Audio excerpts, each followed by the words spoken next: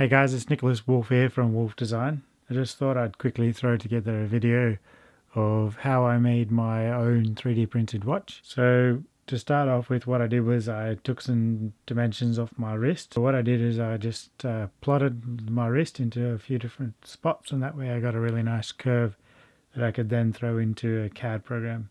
So I used uh, Fusion 360 this time. Then I come up with this CAD design. So basically what I did is just uh, a basic spline curve, uh, in a full sort of ellipse shape, and then uh, yeah, offset it to create the thickness, and then I modified it a bit to suit what I wanted it to look like.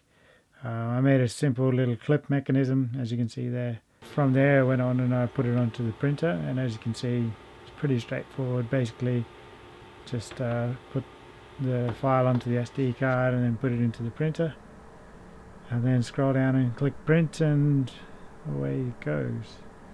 So first off this one has to heat up the build plate. That means that the plastic can then stick to the to the base of the 3D printer. So you'll see here initially it'll calibrate up the 3D printer's base to know, make sure it's level and then it uh, madly goes about making a nice little flat platform. Now this first video I have here is actually uh, a test I ran just to test out a, the model in uh, 5 millimeters thickness and that way I could see if that clip mechanism would work or whether I'd have to redesign it. So yeah, you can see here it's uh, building it up layer by layer and because it does it in 0.06 millimeter increments it's actually quite a time consuming process so that took 20 minutes to print that first piece.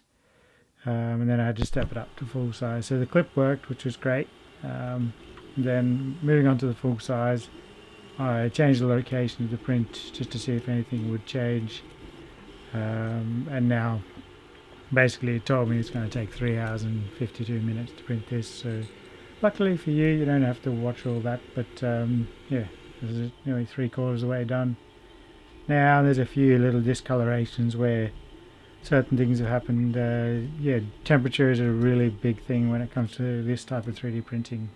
There the print's finished and the bed is rising, lowering back down. Um, you can see here I just unclipped the bed and I'm taking it out so that I can remove my print because basically it's glued sort of in a way to the base. So here we use a nice sharp spatula it's got a flat side and cut away the base on a real low angle so you don't damage the the bed of the 3D printer and you're basically just cutting away little pins, you'll see them later, um, that are embedded into those holes in the build plate. It's pretty straightforward, just nice and gentle uh, with firm pressure. And here's the piece. So what we've got is actually, uh, yeah, there's the bedding plate with the little pins you can see there. And it's actually stuck together quite simply. It's just a thin layer of stuff that's not very heavily adhe adhered to it.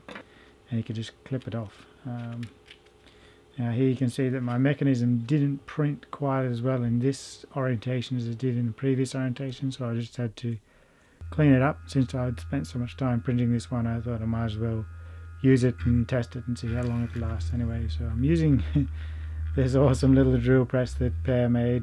Um, yeah, it's quite a cool little thing. But uh, yep, so I got the pinholes drilled out to match the pins in my watch, and now I put it back together, and it's just pretty straightforward.